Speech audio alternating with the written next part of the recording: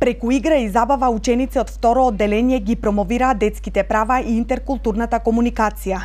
Како дел од неделата на детето која се одбележува секоја прва недела од октомври, денес на градскиот плоштад во Струмица беше реализиран проектот насловен како Детските права во свет без предрасуди.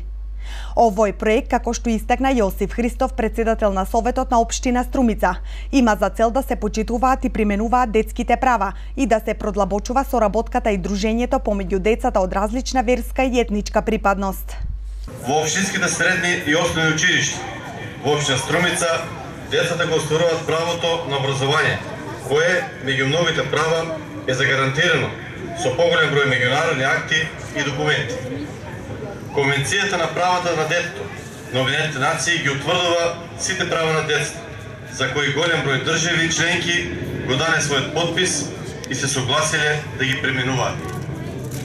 Училишта со своите ученици и родители во една општина представуваат корисници на услугите во целокупниот воспитно образовен процес.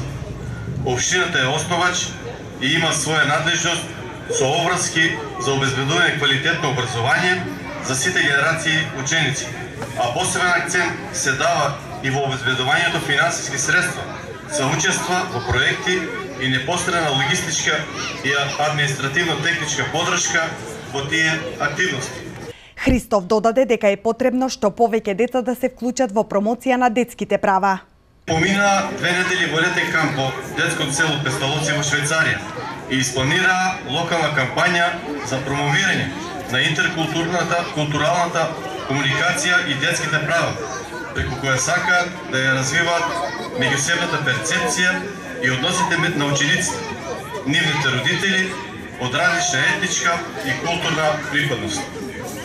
Нивниот ангажман е во функција на развивање на свеста за значењето на соработката на луѓето од различни култури, партиципативно да планираат, активно да слушаат за потребите во заедницата и мотивација на членовите во заедницата, да ја јакнат мултиетничката соработка, меѓусебно да комуницираат и да откриваат дека поединецот и заедницата се поврзани за доброто на сите. Сите посакуваме што повеќе деца да се вклучат во промоција на детските права, преку активно партиципирање во слободните ученички активности, особено надвор од редовната настава. За таа цел, денес, ние локалната заедница ја подржуваме оваа кампања, заедно присуствувајќи на овој настан од забавен карактер, за стекнување нови познанства и за заедничко, заедничко дружење. Општина Струмица како партнер во проектот за промоција на детските права веќе трета година учествува на летниот камп за промоција на интеркултурната комуникација и детските права.